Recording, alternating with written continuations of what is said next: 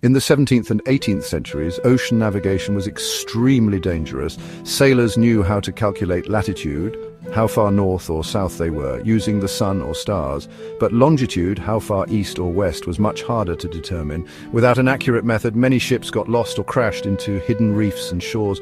To calculate longitude, one needed to know the exact time at a reference point, like Greenwich, and compare it to local time measured by the sun. One hour of time difference equals about 15 degrees of longitude. To do this, a highly accurate clock was needed, one that could function properly at sea despite violent ship movement, changes in temperature and humidity, salt, corrosion and vibration. John Harrison, the man who defied the impossible. In 1714, the British Parliament offered a £20,000 prize, a huge sum at the time, to anyone who could solve the longitude problem. John Harrison.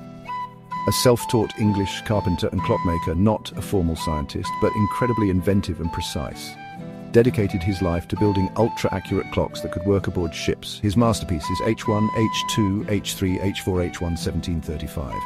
A large and complex clock with horizontal balances worked reasonably well, but was too big and delicate.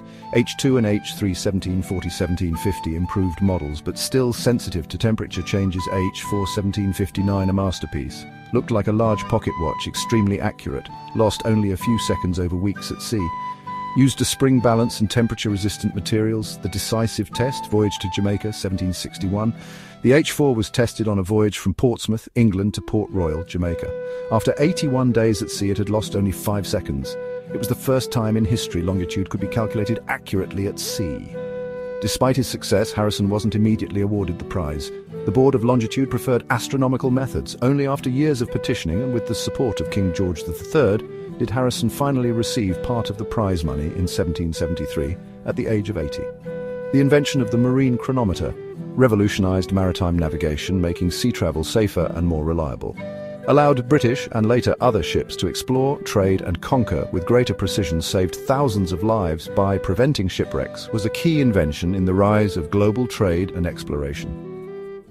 The original H4 is on display at the Royal Observatory in Greenwich, London. It's considered one of the most important scientific instruments in history.